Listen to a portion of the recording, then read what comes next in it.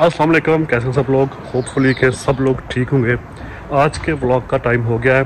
अभी जब मैं जॉब पे था तो मेरा जो फैमिली डॉक्टर है, उसने मुझे फ़ोन किया कि तुम मेरे पास आओ फ़ौरन एमरजेंसी में। अल्लाह करे कि सब कुछ ठीक हो।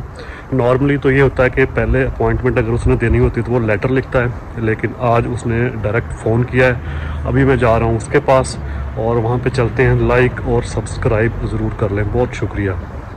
डॉक्टर जो है मेरा यहाँ से ज़्यादा दूर नहीं है, यहाँ से कोई पंद्रह मिनट का रास्ता है सिर्फ़ पैदल अगर जाएँ तो। पहले जो था, आज से एक साल पहले मेरा जो डॉक्टर था वो किसी और सिटी में था, लेकिन जब से यहाँ पे मूव हुआ हूँ तो यहाँ पे पहले तो अपॉइंटमेंट नहीं मिल रही थी, क्योंकि यहाँ पे जो डॉक्टर्स होते हैं वो नए जो लोग आते हैं, उनको बहुत कम लेते हैं, लेकिन फिर मिल गई किसी तरह से। तो अभी पंद्रह मिनट का रास्ता है यहाँ से तो अभी देखते हैं जाके कि उसने क्या कहना है। होपफुली कि कुछ अच्छी बात हो। ये सामने एक चौक है और ये जो है आपको सामने जो शरा नज़र आ रहा है, ये बहुत बुरा लगता है। मुझे उसकी रीज़न ये है कि ये जब एक दफ़ा रेड होता है तो फिर दस दस मिनट तक भी कभी कभी रेड रहता है, क्योंकि ये बहुत बड़ा यहाँ पे चौक है और काफ़ी यहाँ पे गाड़ियाँ इधर उधर जाती हैं। इंश्योरेंस का कार्ड जो था, ज़रूरी था, साथ लेना, वो मैंने साथ ले लिया, अभी मेरे पास है। क्योंकि जब यहाँ पे आपको डॉक्टर के पास जाना है तो जो सबसे ज़रूरी चीज़ है, पैसों से भी, पैसे तो आपको वैसे भी चाहिए नहीं डॉक्टर के पास जाने के लिए। इंश्योरेंस का कार्ड ज़रूर चाहिए, वो मैंने ले लिया है, और दैट्स ऑल ये जो सामने आप देख रहे हैं स्पार का से ये एक बैंक है यहाँ पे जर्मनी का, काफ़ी बड़ा बैंक है ये, और काफ़ी फ़ेमस भी है। इस साइड में भी एक गली है, और डॉक्टर अभी थोड़ा आगे है, अभी चार पाँच मिनट और चलना पड़ेगा तो हम हम पहुँच जाएँगे।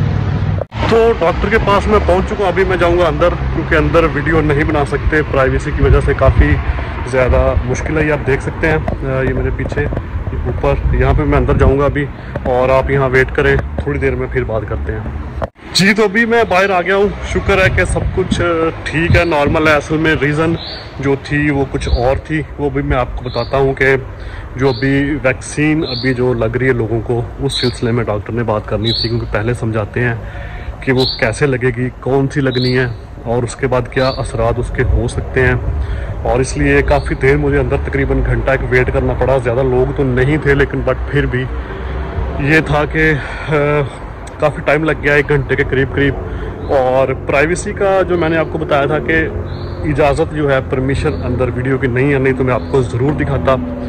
और ये है कि यहाँ पे प्राइवेसी किसी भी आप दफ्तर में चले जाएँ, किसी भी ऑफ़िस में चले जाएँ प्राइवेसी यहाँ पे सबसे पहले नंबर पे है। कोई भी शख्स जो है, कोई भी पर्सन वो आपकी इंफॉर्मेशन यहाँ पे नहीं ले सकता किसी भी तरह की। चाहे कोई भी हो। हाँ जब तक आप लिख के नहीं देंगे उसको कि फ़लाँ बंदे को मेरी जो है कोई बात बता दी जाए तो फिर जो है वो जो आपकी बात किसी को बता सकते हैं अदरवाइज़ नहीं बताते। अब एक और बात कि यहाँ पे इलाज जो है कैसे होता है, कितना महँगा होता है और डॉक्टर्स यहाँ पे कैसे होते हैं। बहुत लोगों को ये जानना होगा क्योंकि काफ़ी डेवलप्ड कंट्री है जर्मनी तो मैं आपको बता दूँगा यहाँ पे जो डॉक्टर्स होते हैं हाईली क्वालिफाइड प्रोफेशनल्स होते हैं जदीद तरह की इन, इनके पास मशीन्स होती हैं। और हमारे कंट्रीज़ की तरह नहीं है कि जाओ और कोई भी टीका ठोक देंगे आपको नहीं।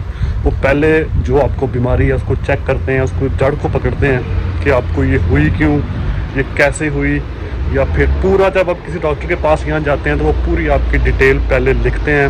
आपकी फैमिली में किस किस को ये प्रॉब्लम थी, दादे परदादे से लेके, और हर चीज़ को वो सही से देखते हैं और फिर उसको हाथ लगाते हैं कि इसको अब कैसे इलाज करना है। ऐसा नहीं है कि आप डॉक्टर के पास जाएँ और वो टीका भर के ले आए और ठोक दे और कहे, जाओ। वक्ती तौर पे फिर बंदा ठीक हो जाता है, लेकिन बाद में फिर वही प्रॉब्लम जो है वो होती है। लेकिन यहाँ पे ऐसा नहीं है। वो सामने एक बुल डॉग जा रहा है बहुत बड़ा कुत्ता रखा हुआ है किसी ने। बहुत ही बड़ा। और एक बात जो मैंने आपको बताई अभी कि यहाँ पे जो इलाज है वो कितना महँगा है। अगर तो यहाँ पे आप यहाँ पे आप रेजिडेंट हैं आपके पास यहाँ सब आ, मतलब सब कुछ है आपके पास इंश्योरेंस का कार्ड है जो कि आपको हर महीने पे करना पड़ता है तो फिर तो इतना महँगा नहीं है। अदरवाइज़ अगर आप यहाँ पे आठ दस दिन या महीने के लिए आते हैं तो फिर जो अभी मैं चेकअप के लिए गया था तो मेरी फ़ीस कोई पचास साठ यूरो होगी, लेकिन वो मेरी इंश्योरेंस पे करेगी। बट अगर आप वैसे जाएँ, यहाँ पे एज अ गेस्ट हैं तो जाएँ तो वही जो है, वो तकरीबन तीन चार सौ यूरो पे वो जा सकती है। और जैसा कि मैंने बताया कि इंश्योरेंस कंपनीज़ जो हैं, वो बहुत बंदे को लूटती हैं। ये बात बिल्कुल ठीक है, लेकिन उनका फ़ायदा भी है, नुकसान भी है। फ़ायदा ये है कि जब भी कभी इस तरह का कोई प्रॉब्लम बनता है, कोई एमरजेंसी होती है तो आप हॉस्पिटल में भी जाते हैं तो आपका जो इंश्योरेंस का कार्ड होता है, उससे आपकी जो फ़ीस ले ली जाती है, वो आपकी इंश्योरेंस पे करती है। और अगर आप बगैर इंश्योरेंस कार्ड के जाएँगे हॉस्पिटल या कहीं भी तो ये डबल ट्रिपल महँगा पड़ सकता है। सौ की बजाय आपको पाँच सौ पे करने पड़ सकते हैं। यहाँ का सारा जो निज़ाम है हेल्थ का, वो एक सिस्टम के तहत चलता है। लगता तो थोड़ा अजीब सा है कि आपने हर महीने 80 यूरो या 90 यूरो पे करने हैं। बेशक आप हॉस्पिटल कभी भी ना जाएँ या एक दो साल में एक दफ़ा जाएँ, लेकिन ये यहाँ का निज़ाम है। सब इसको फॉलो करते हैं। यहाँ पे जो कोई भी है, उसकी इंश्योरेंस यहाँ पे लाजमी है। इंश्योरेंस के बगैर जो है, जैसे मैंने बताया, सौ का जो आपको अपॉइंटमेंट है, वो पाँच सौ हज़ार की पड़ सकती है। तो ये थी आज की वीडियो। सब्सक्राइब ज़रूर कर लें चैनल को और वीडियो को लाइक और शेयर और नीचे कमेंट भी ज़रूर करें। बहुत बहुत शुक्रिया।